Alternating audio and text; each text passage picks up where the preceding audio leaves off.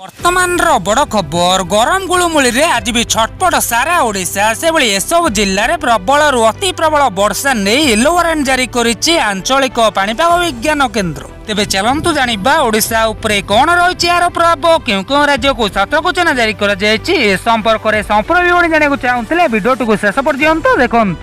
ଯଦିଓ ଆପଣମାନେ ନୂଆ ଏହି ଭିଡ଼ିଓ ଦେଖୁଛନ୍ତି ପୂର୍ବରୁ ଆମ ଚ୍ୟାନେଲକୁ କେବେ ସବସ୍କ୍ରାଇବ୍ କରୁନାହାନ୍ତି ତେବେ ନିହାତି ଚ୍ୟାନେଲକୁ ସବସ୍କ୍ରାଇବ୍ କରିବା ସହିତ ପାଖରେ ଆସୁଥିବା ବେଲ୍ ଆଇକନ୍ଟିକୁ ଦବାଇ ଦିଅନ୍ତୁ। ଗରମ ଗୁଳୁମୁଳିରେ ଆଜି ଛଟପଟ ସାରା ଓଡ଼ିଶା କାହିଁକିନା ସମ୍ବଲପୁର ଝାରସୁଗୁଡ଼ା ସମେତ ପଶ୍ଚିମ ଓଡ଼ିଶାର ବହୁ ଜିଲ୍ଲାରେ ପ୍ରଚଣ୍ଡ ଗ୍ରୀଷ୍ମ ପ୍ରଭାବ ଜାରି ରହିବ। ତେବେ କ୍ରମାଗତ ଚାରି ଦିନରେ ଅସମ୍ଭାଳ ଗ୍ରୀଷ୍ମ ପ୍ରଭାବ ପରେ ଆଜି ଗତକାଲି ଠାରୁ ଏକ ଡିଗ୍ରୀ ତଳକୁ ଖସିବ ପାରଦ।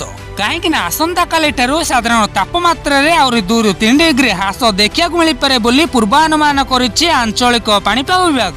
ସେହିପରି ଆସନ୍ତା ଅଠର ତାରିଖ ଉଣେଇଶ ତାରିଖ କୋଡ଼ିଏ ତାରିଖ ବେଳକୁ ରାଜ୍ୟର କିଛି ସ୍ଥାନରେ ପ୍ରବଳରୁ ଅତି ପ୍ରବଳ ବର୍ଷା ହେବାର ସମ୍ଭାବନା ରହିଛି। ସେହିପରି ଆସନ୍ତା ଚବିଶ ଘଣ୍ଟା ମଧ୍ୟରେ ଓଡ଼ିଶାର କୋରାପୁଟ ମାଲକାନଗିରି ରାୟଗଡ଼ା କଳାହାଣ୍ଡି କନ୍ଧମାଳ ବାଲେଶ୍ୱର ଓ ଭଦ୍ରକ ଜିଲ୍ଲାରେ ପ୍ରବଳ ବର୍ଷା ହେବାର ସମ୍ଭାବନା ରହିଛି।